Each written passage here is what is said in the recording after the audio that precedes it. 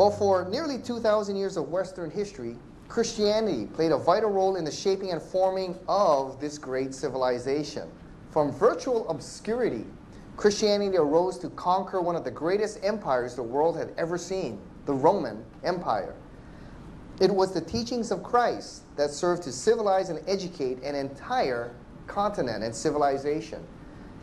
It gave birth to the modern ideals of freedom, human dignity, equality, free market economics, and social justice.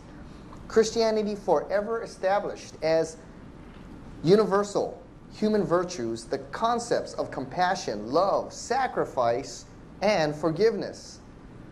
And the monuments of Christianity still remain from the great cathedrals that stand throughout the lands to the universities that have educated millions, to the music of Bach and Beethoven, to the literature of Dante, Dostoevsky, Tolkien, and C.S. Lewis. From the colonization of America to the creation of our democratic government to the abolition of slavery, Christianity has been the most powerful and most positive formative influence on culture in the history of the world. And wherever you go in the world, wherever you see Christianity flourishing, it brings personal, social, and cultural transformation. In his book, Jesus in Beijing, author David Aikman recorded the words of a leading Chinese scholar from the Chinese Academy of Social Sciences. Speaking to a group of Westerners in 2002, he stated this They went to discover what it is that made the West and America such a great nation in such a short period of time. And he concluded this one of the things we're asked to look into was what accounted for the success, in fact, the preeminence of the West all over the world.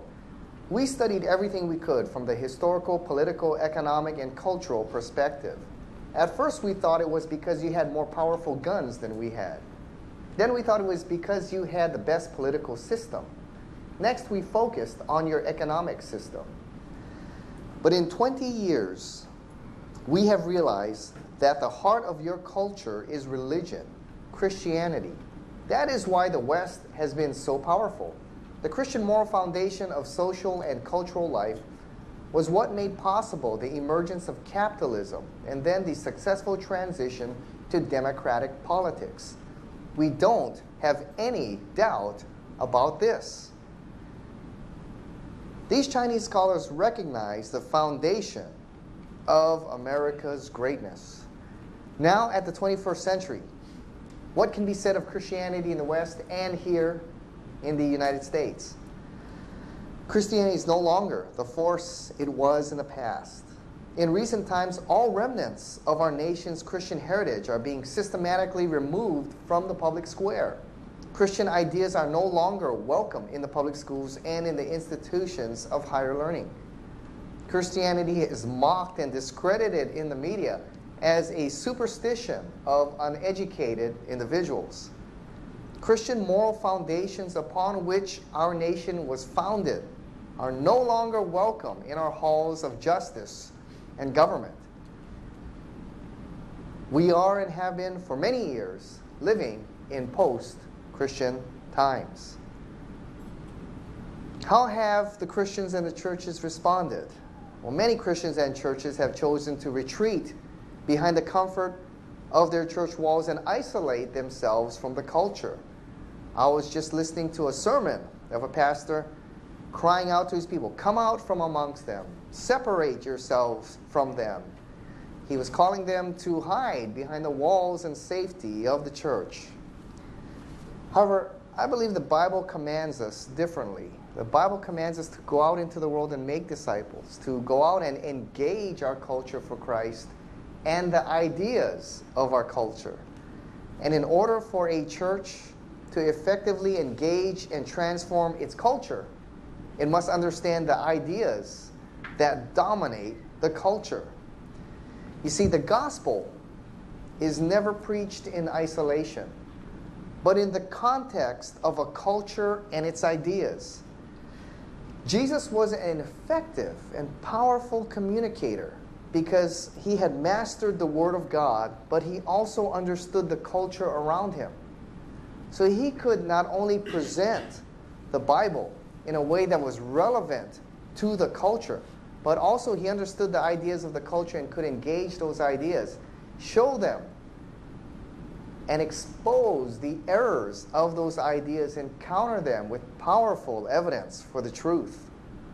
The Apostle Paul is considered the greatest missionary of church history, and Paul was very effective because he also knew the Word of God, but he also understood the culture and its ideas.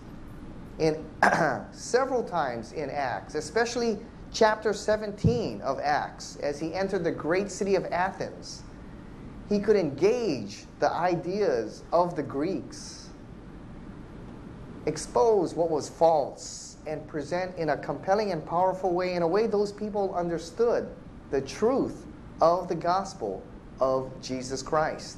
You see, when you understand the culture, you know how to connect with your audience, but you also know the ideas that stand opposed to your message. This makes you a more effective and persuasive communicator for the gospel of Christ when you can speak in terms they can connect with, and instead of dismissing their ideas, you can engage their ideologies and the philosophies that hold them captive, which they ascribe to. Well, in our culture, these are the dominant ideas of our time. The first is naturalism, the worldview of our culture today. Naturalism is the worldview that the material world is all that exists. It's best summed up in the words of the late Carl Sagan, who stated in the series Cosmos, which many of us were uh, made to watch growing up in the public schools. And he said this in the opening phrase of the video, The Cosmos The universe is all that is ever was, and ever will be. Naturalism rejects the notion that there is a divine creator. It rejects the idea of a spiritual world, of life after death, and uh, that we humans have an immaterial soul or spirit. If there is no God, there's no Son of God, there can be no Word of God, and there can be no acts of God. So this worldview stands in direct opposition to the Christian worldview. And this is the dominant worldview of our times, which rules our schools, universities, media, and government. Naturalism, however, leads to a dark and dreadful conclusion that we are mere accidents in time and space. Thus, there's no ultimate meaning no purpose or significance for our existence. I remember when I was on a radio debate with an atheist. He said, Well, that's just your opinion. I said, No, I'm simply repeating what you atheists have been saying for centuries. And he said, Like who? I said, Well, what about one of your most outspoken atheist philosophers there, Bertrand Russell? He said this Man is the product of causes which had no provision of the end they were achieving, that his origin, his growth, his hopes and fears, his loves and his beliefs are but the outcome of accidental collocation of atoms. We're simply an accident here. There was no purpose for our existence. That no fire, no heroism, no intensity of thought and feeling can preserve an individual life beyond the grave that all the labors of the ages, all the devotion, all the inspiration, all the noonday brightness of human genius are destined to extinction in the vast death of the solar system, and that the whole temple of man's achievement must inevitably be buried beneath the debris of a universe in ruins. Bertrand Russell concluded what all the athe- great atheist philosophers have concluded if we're simply accidents of time and space, there's ultimately no meaning for our existence here. No ultimate hope and purpose. The only sure thing we have to look forward to is our extinction and eventual annihilation. I remember I was in a communist country in East Asia, and I shared this quote with uh, several university students there, and they were stunned at this statement. And as I moved on to the next slide, they said, No, no, go back, go back. And they kept reading this quote over and over and over again. They sat there, you could see it in their eyes. They sat there in shock, finally coming to the realization of the implications of atheism and the dreadful and dark future that awaited them if God does not exist. This life is all that there is. And the only thing we have to look forward to is our extinction. Understanding the implications of the naturalist worldview, then, provides a great opportunity to share Christ if we are equipped and prepared to engage this worldview. The second dominant idea of our culture is Darwinism. Darwinism teaches that the origin and the diversity of life are the result of natural forces and chance. There's no intended purpose for our existence. We are simply accidents. However, if Darwinism is true, we come to some dreadful conclusions as well. Dr. Will Provine, biology professor at Cornell University, states clearly the implications of Darwinism. He says if Darwinism is true, it ultimately, ultimately means no life after death, no absolute foundation for right and wrong, no ultimate meaning for life, no free will. He states ultimately, we live, we die, and that is all there is to it. Third idea of our culture is the relativism of truth. This is the result, the natural conclusion of the naturalist worldview. You see, if there is no God, if there is no creator, truth does not originate with God. If truth doesn't originate with God, where does truth originate? With me. I don't discover truth, I invent it. And since you and I have different perspectives, we're all limited. Nobody knows anything purely, objectively, Nobody has all knowledge and all wisdom. Therefore, truth is created by each individual, and therefore, truth is relative. There is no fixed point by which we can measure truth. Truth then is not absolute, it changes from individual to individual, from culture to culture, and over time. Christians who teach that the Bible's teachings are absolute are often stonewalled by this ideology that tells them True for you, but not for me. All truth is relative. You cannot say your version of the truth is any better than mine. And this is the ideology that dominates our universities and public arena. Just go to the University of Hawaii and ask students, is truth relative or absolute? I guarantee you, 9 out of 10 of them are going to say it is relative. The fourth idea of our culture coming out of the relativism of truth, is moral relativism. This is the lifestyle of our culture. If truth is relative, then morality naturally follows as relative. The majority in our culture believe that morality is also determined by the individual or the culture. Therefore, it's always changing.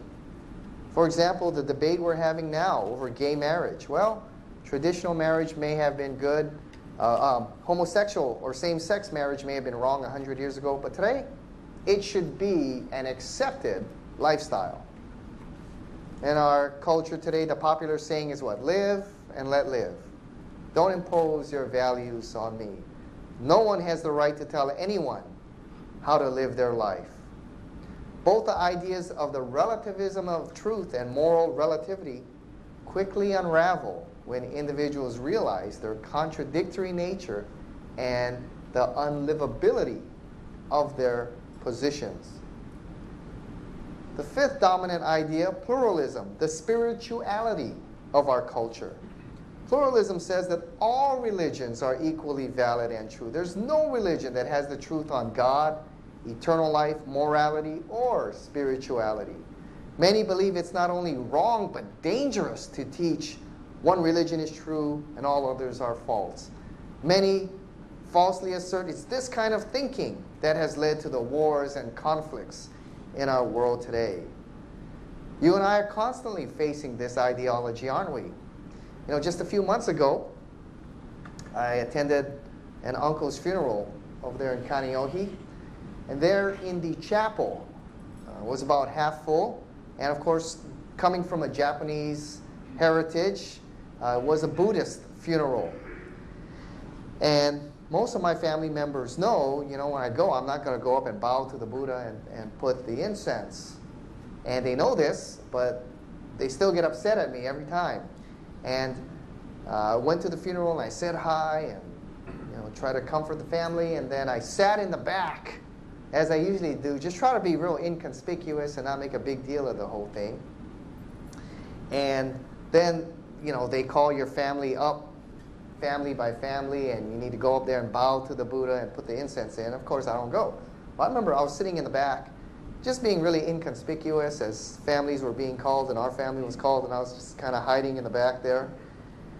And one of my cousins, a former teacher, so therefore, you know, when she talks, she's pretty loud. She came and sat behind me. And in a loud voice, she said, Hey, Patrick never go up. Patrick never go up and put incense. How come Patrick never go up? And uh, my sister turned around and said, Oh, he's Christian. She goes, But he should go up. How come Patrick never go up? Now the whole chapel is turned and they're looking at me. And a Buddhist priest is over there staring at me. You know, and I look back and I said, Hey, don't make a big deal about it. You know, and she goes, But you should go up. You should go up. So, of course, you know, everyone was kind of glaring at me, all upset and everything. And afterwards, of course, you know, we have lunch. And I went to the back and I went walking into the lunchroom and everyone just kind of gave me the evil eye. And I thought, okay, well, I won't eat uh, then. And I stood outside trying to talk to my cousins and family members, and uh, they weren't very interested in, in conversing with me.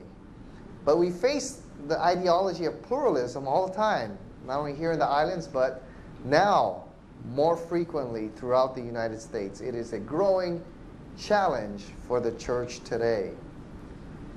The final idea, um, Steve Turner sums up pluralism pretty well.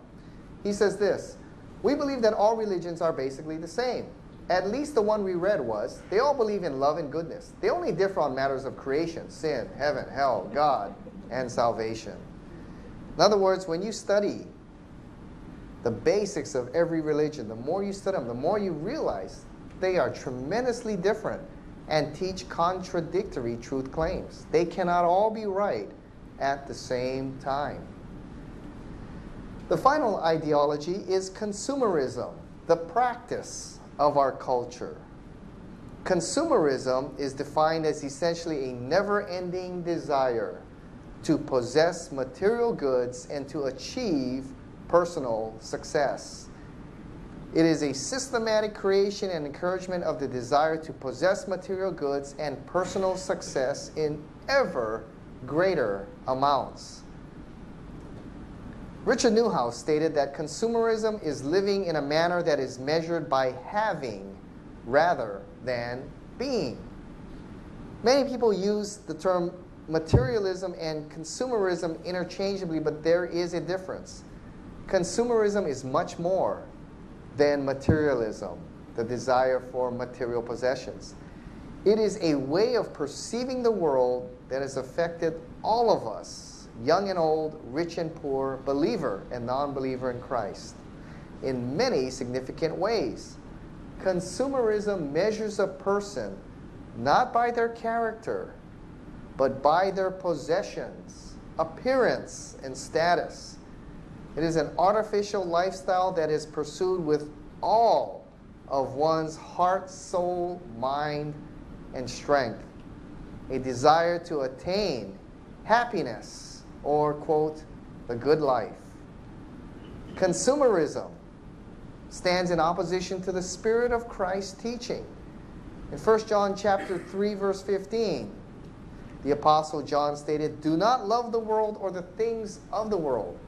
If anyone loves the world, the love of the Father is not in him. For all that is in the world, the desires of the flesh, the desires of the eyes, and the pride of life, is not from the Father, but is from the world. And the world is passing away along with its desires, but whoever does the will of God abides forever. Consumerism presents us with the illusion and distracts us from the cosmic, eternal truth of man's sin and our separation from God. However, the ideologies and the things of this world fail to fill the emptiness of the human heart. In post Christian times, we find that our message is contrary to the ideology and spirit of our time.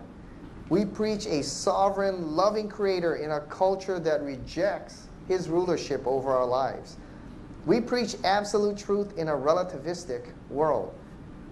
We stand for an absolute moral code in an amoral world. We preach an exclusive salvation in a pluralistic world.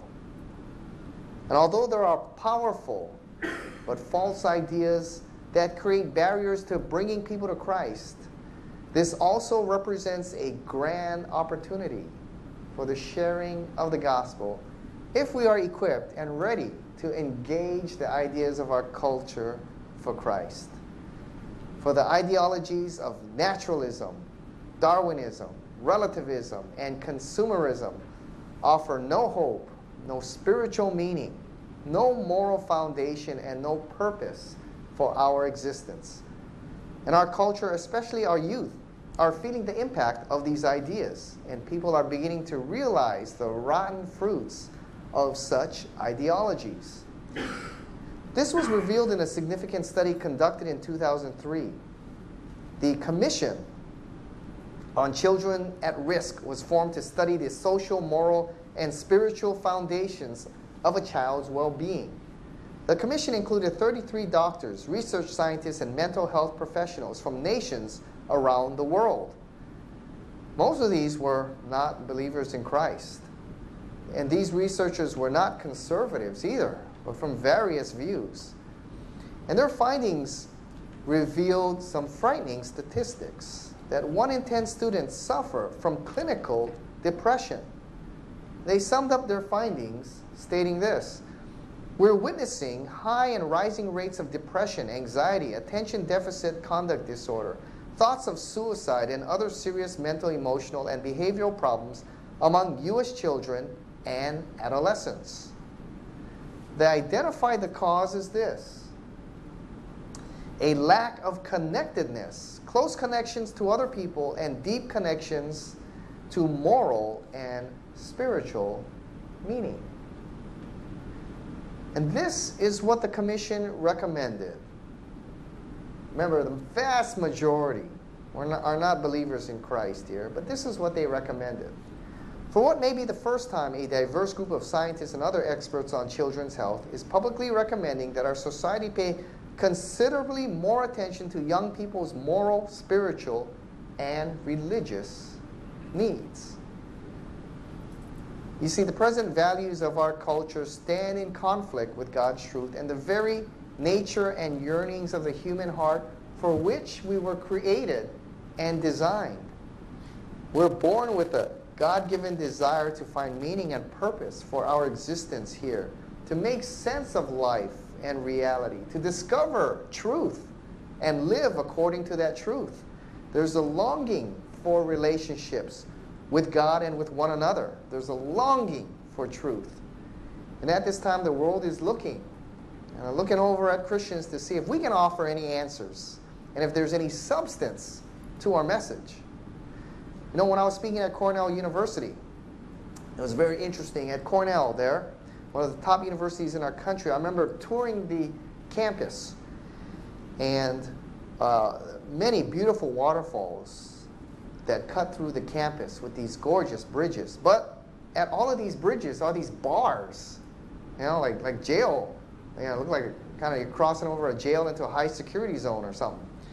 And I remember after crossing about the fourth or fifth bridge with these ugly gates and bars on them, I said, I asked our guide, I said, how come you got all these ugly fences and gates on your beautiful bridges here?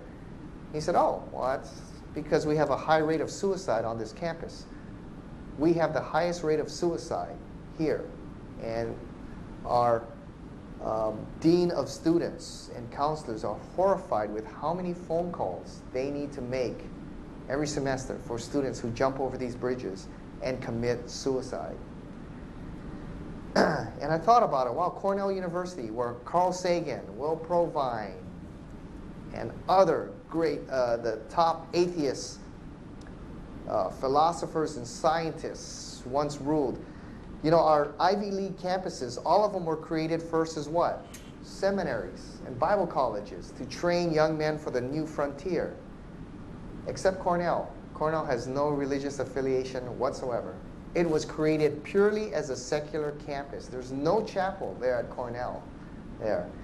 And uh, I thought, gee, how interesting. The stronghold of naturalism and atheism springing forth from the halls of this campus, and it has the number one suicide rate.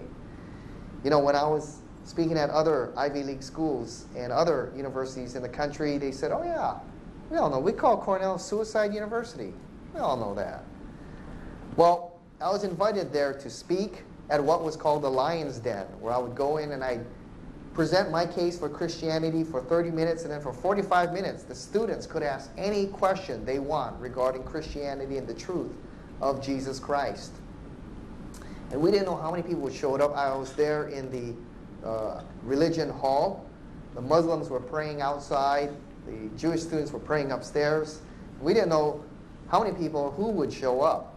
Well, the auditorium there could seat 400 students, and that night over 500 showed up. It was absolutely packed. There was not an open seat there. They had to create an overflow room real quickly where over 100 students went in and watched and live video stream.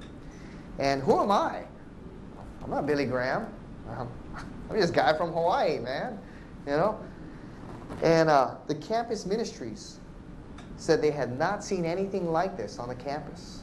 And as I spoke with the professor, he said, Man, in my 30 years here at Cornell, I've never seen anything like this. He said, Something is happening, not just here at Cornell, but at Ivy League schools throughout the East Coast. You see, students understand instinctively there's something more. And they've got deep questions regarding what is the meaning of my existence? What is truth? Is there a God? Is there a God who can provide meaning and purpose for my existence here? They're asking those deep questions and they're not finding it in their classrooms. So they're seeking it. Uh, and we have a great opportunity if we're ready to engage those ideas for Christ. Well, in light of the times we face, what are we called to do? Some Christians and churches choose to retreat from the culture and isolate themselves behind the walls of their churches. But I believe the Bible calls us to engage our culture for Christ, to take on those ideas and challenge those ideologies and present a compelling case for the truth of Jesus Christ, especially in our time when in the post Christian days we find ourselves, the gospel is not so welcomed in the public arena. How do we meet the challenge? First, we're to meet the challenge compassionately, with the heart. John chapter 13, before he was to go to the cross and demonstrate the greatness of his love, Jesus Christ said this A new commandment I give to you that you love one another just as I have loved you. So also are you to love one another. We're to love one another as Christ loved us. Something impossible for us to do on our own. That's why he sent the Holy Spirit to enable us to live the supernatural Christian life and, and, and to love one another, modeled for us as Jesus Christ. He says, By this all people will know that you are my disciples if you love one another. The world will know we are his disciples if what? If we love one another. We love one another as Christ loved us. We don't always do a great job. Huh? Walk into a lot of churches and there's a lot of fighting going on on, on secondary doctrinal kind of issues. Um, a lot of infighting going on. Uh, and that ruins our witness to the world. But Jesus said, if you love one another as I have loved you, the world cannot help but notice hey, there's something going on over there. There's something that's not of this world with those group of people. And you catch their attention. He said, By this all people will know you my disciples if you love one another. Doesn't guarantee they'll come to Christ, but they'll definitely recognize something beyond this world is going on over there. And they'll want to come and check it out.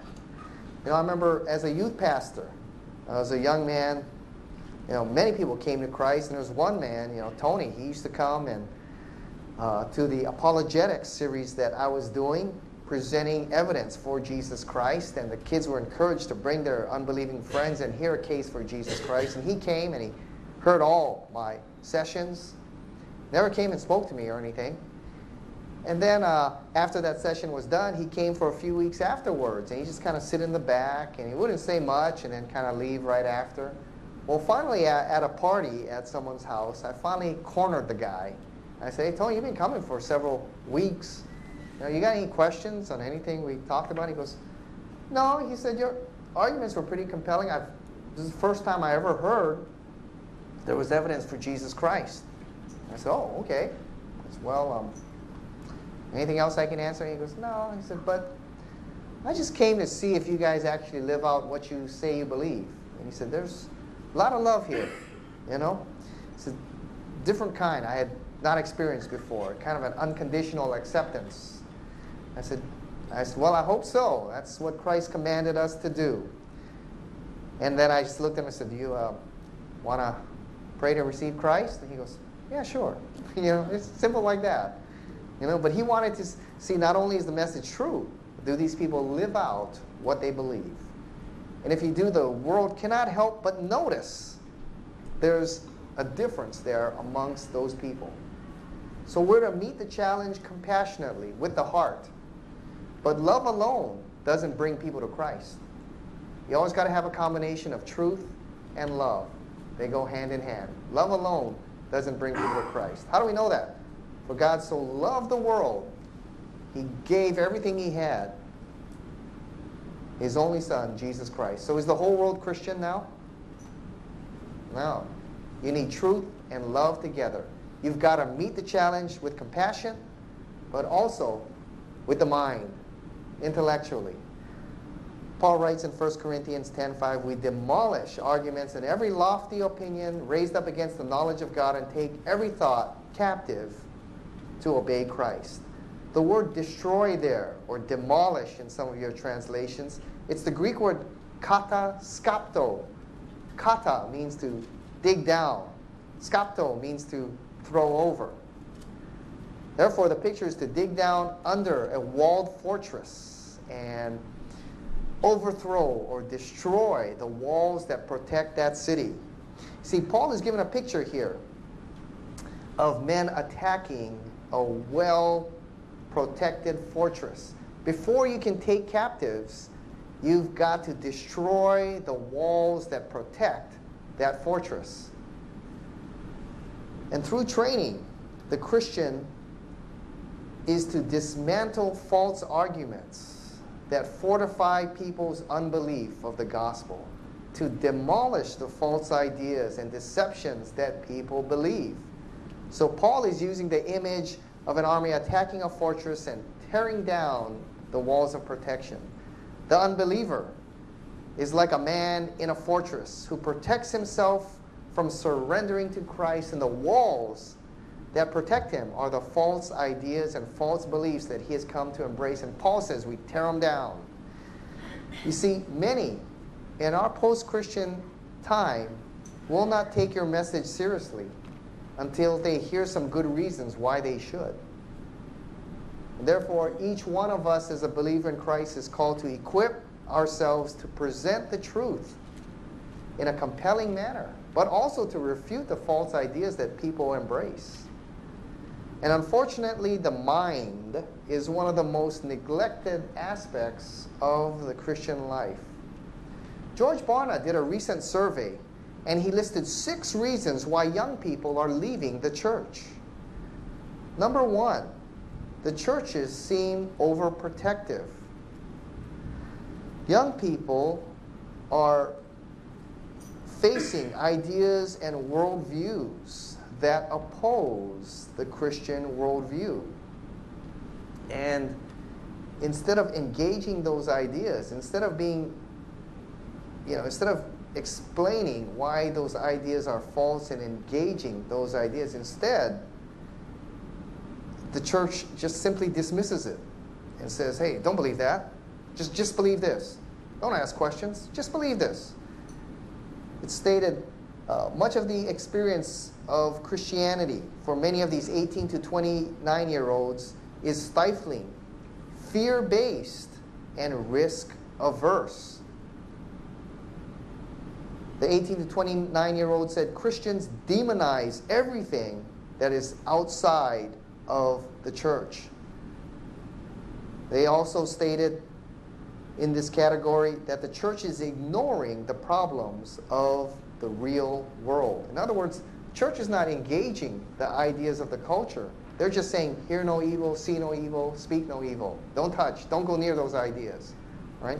But young people are being bombarded with ideas and worldviews that challenge their faith in Christ and are not finding Christians who can present to them compelling and powerful answers that engage those ideas.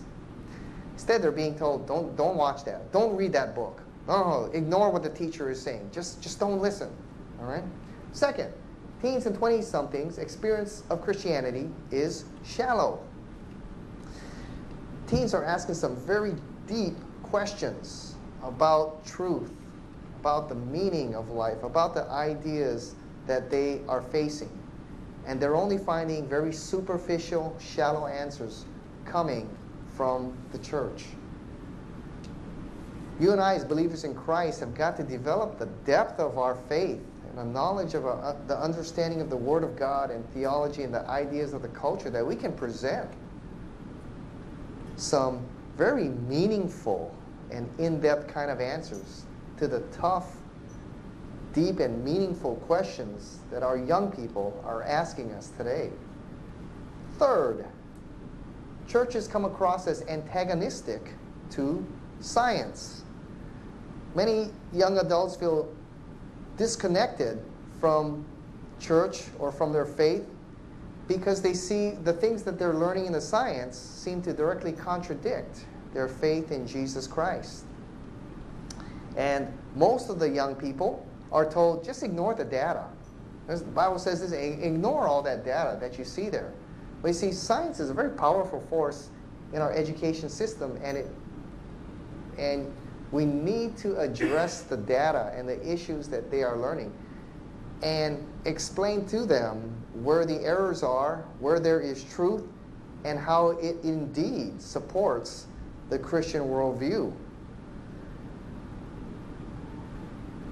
The young adults, many from a Christian background, felt that churches are out of step with the scientific world that we live in.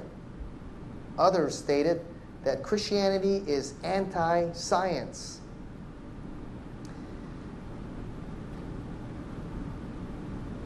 More research shows that many scientific minded young Christians are struggling to find ways of staying faithful to their beliefs and their professional calling in science related industries. Many young people don't understand it's the Christian worldview that gave birth to the modern sciences. Study the founders of the modern sciences Babbage, Newton, Faraday, Pascal. They were men deeply committed to God. And it's the Christian worldview that gave birth to the sciences because these men understood that we have a rational creator who created, who designed an ordered universe, and the design of the designer could be discovered. And that's what made the sciences possible. However, they are finding that when it comes in the churches, people are saying, ignore the science, ignore, ignore all that data. Just believe, man, just believe. They're looking for some, can the Christian worldview uh, not only answer these challenges, but how do they put the data together?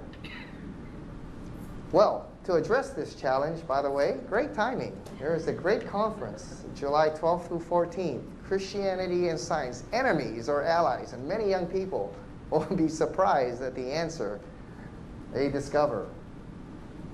Fourth, young Christians' church experiences related to sexuality are often simplistic and judgmental.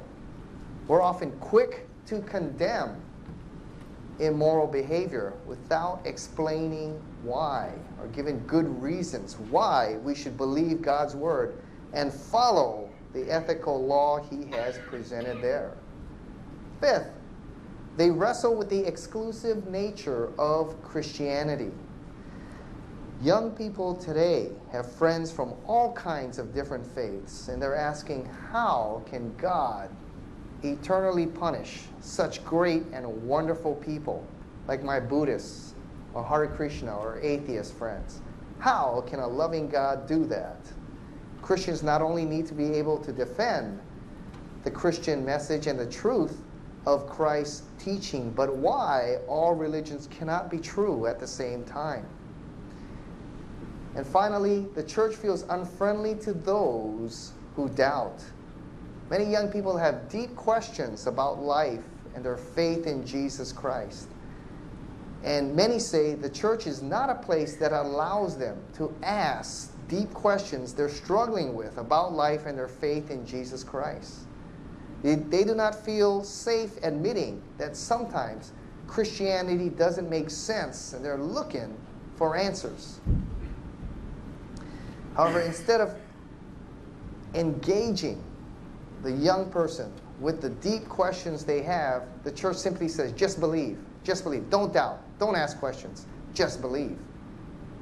And that's a real turnoff to young people who are, see, who are asking some deep questions and struggling with some very deep issues. Are we prepared to engage and present a compelling case for Christ and wrestle and give some solid, meaningful, deep answers to the kinds of questions our young people are facing as we live here in this post Christian world? It's the job of every Christian to not only develop your heart and your spirit and your soul, but your mind as well, to engage the ideas of the culture and to engage unbelievers who are asking some really deep questions and wrestling with some deep issues. Well, although we face some very formidable challenge, we live in a culture that views Christianity negatively and powerful ideas that oppose our faith in Christ. When we can outlove and outthink the culture around us, we have an unbeatable combination. You know, I asked my church history professor, I asked him, how was it that the early church, with no resources, with no uh, power, was able to transform the Roman Empire uh, so quickly. And he summarized it best. He said they were filled with the Holy Spirit and they could outlove and outthink the culture around them. And when you have that combination, that is an unbeatable combination. Well, do we have that equipping today? Are we filled with the Spirit? Can we outlove and outthink the culture around us? If we're equipped and able to, we can engage our culture for Christ and transform our culture for the kingdom of God. It's the responsibility of every Christian, every church, and every ministry to equip themselves to be filled with the Spirit, to outlove and outthink the culture. And when you are equipped in such a way, God can use you as a powerful tool to engage and transform your culture for Christ. And I pray that be true for every person here at Calvary Chapel Windward.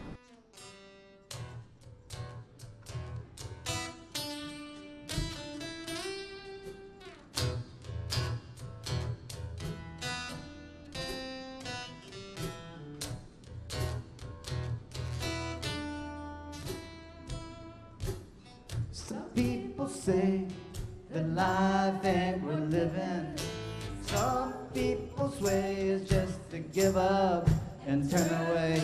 Some will shake their heads and say, My faith is just a prison.